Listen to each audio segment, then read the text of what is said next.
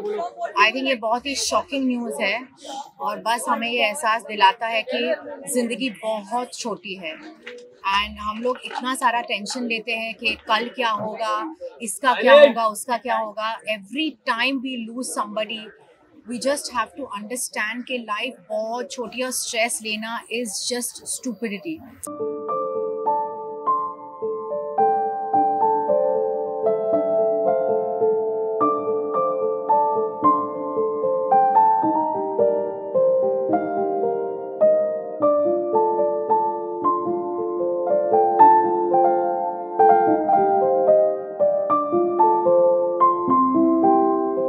Many celebs reached at late Satish Kaushik residence.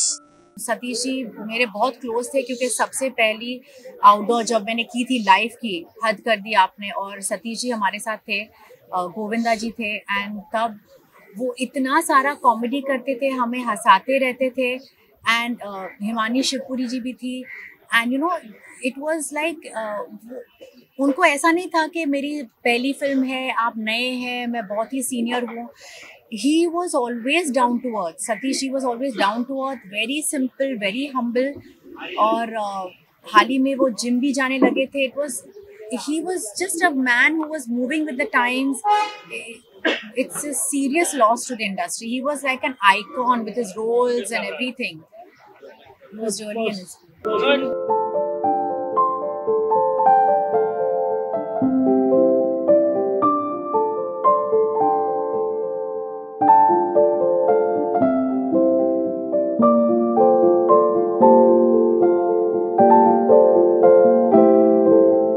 Satish ji is the only director जिनके साथ मैंने acting भी की और उन्होंने मुझे डायरेक्ट भी किया था।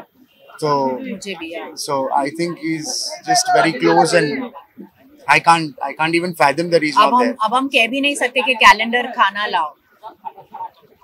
Thank you thank you guys thank you